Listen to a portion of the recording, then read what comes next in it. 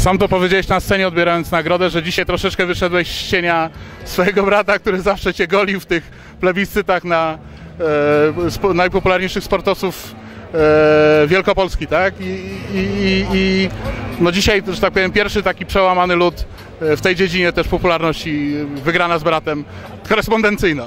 No tak, dokładnie. No niestety brat y, tutaj w tym plebiscycie nie uczestniczył, to więc no nie wiadomo jak by było.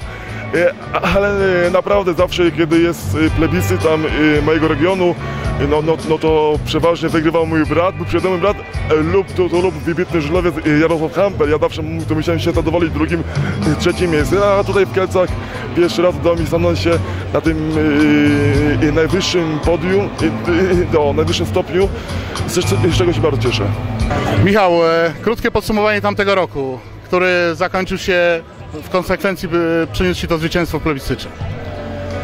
Mogę zaliczyć do udanego i niedodanego roku z tego względu, że jeśli, no, to jeśli chodzi o, o, o tutaj y, klub, to jestem bardzo zadowolony, bo zdobyliśmy w- na podwórku krajowym y, wszyscy mówiliśmy, czy Puchar Polski.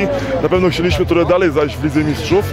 To się nam niestety nie udało, a jeśli chodzi o, o taką moją porażkę, y, no, no, no no, y, kadra, gdzie, gdzie, gdzie naszym głównym celem był wyjazd na Olimpiadę do Londynu i, i, i niestety, tak jak wiadomo, przegraliśmy turniej w, w, w Alicante i Olimpiadę musi- musieliśmy oglądać w telewizji. E, tak jak w przypadku Sławka Szmala, Grześka Tkaczyka, to był Twój pierwszy złoty medal Mistrzostw Polski w zeszłym roku.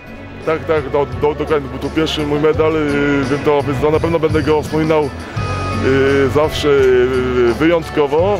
Mam już w swoim dorobku dwa srebrne medale, jeden brązowy, ale wiadomo, to zawsze to najbardziej cieszą, cieszą te miejsca na samej górze.